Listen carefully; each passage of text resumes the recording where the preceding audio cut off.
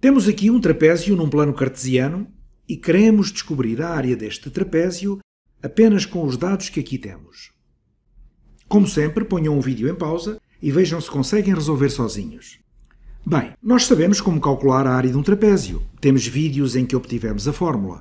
Mas a área de um trapézio, de maneira simples, é igual à média dos comprimentos das bases. Podemos dizer base 1 mais base 2 vezes a altura. E quais são as nossas bases aqui? E qual vai ser a nossa altura aqui? Bem, podemos chamar base 1, podemos chamar isso ao segmento reta CL. Vai ser o comprimento do segmento CL aqui, vou fazê-lo a magenta, isto vai ser a base 1. A base 2. A base 2 pode ser, vou fazer numa cor diferente. A base 2 vai ser o segmento reta OW. Ou o B2 vai ser o comprimento do segmento OW. OW aqui. E depois a altura, a nossa altura H vai ser este segmento que está aqui atracejado. Reparem que interseta a base B1, podemos dizer o segmento CL, formando um ângulo reto aqui. Então, isto vai ser, isto vai ser a altura. Se soubermos os comprimentos de cada um destes, se conhecermos cada um destes valores, podemos calcular a área deste trapézio. E mais uma vez, se isto não vos diz nada, e se estiverem curiosos, há vários vídeos que demonstram como é que chegamos a esta fórmula. Até podem dividir o trapézio em dois triângulos e um retângulo que é outra forma de pensar. De qualquer maneira, vamos ver como é que resolvemos isto. Em primeiro lugar, o que é que o B1 vai ser? B1 é o comprimento do segmento CL. E podemos dizer que sabemos quais são as coordenadas destes pontos aqui. Podemos dizer, vamos usar a fórmula da distância.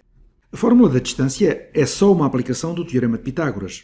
Então, isto vai ser a raiz quadrada da nossa variação em x ao quadrado, a nossa variação em x vai ser isto aqui. E reparem, vamos de x igual a menos 4 até x igual a 8, à medida que vamos de C para L.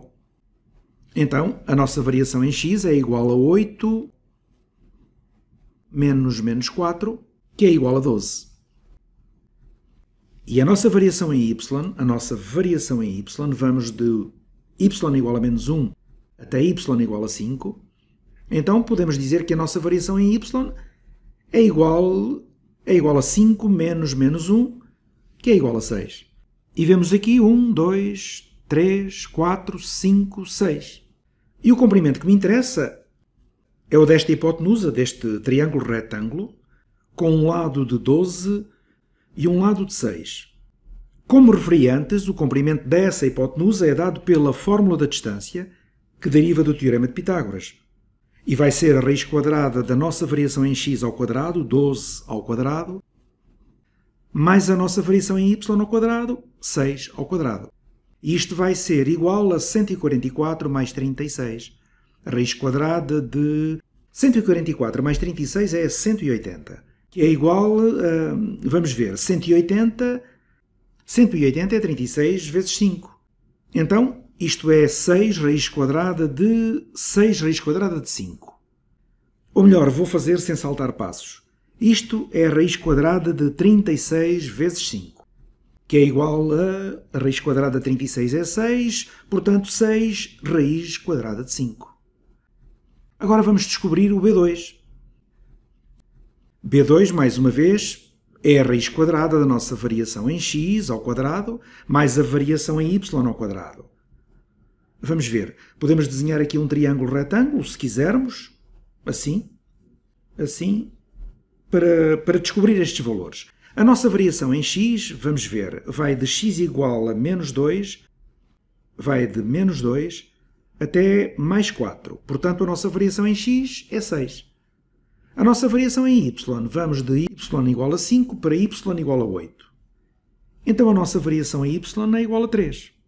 Aplicando o teorema de Pitágoras para descobrir o comprimento desta hipotenusa aqui, vai ser a raiz quadrada da variação em x ao quadrado, 6 ao quadrado, mais a variação em y ao quadrado, mais 3 ao quadrado, que vai ser igual a vai ser igual a 36 mais 9, que é 45.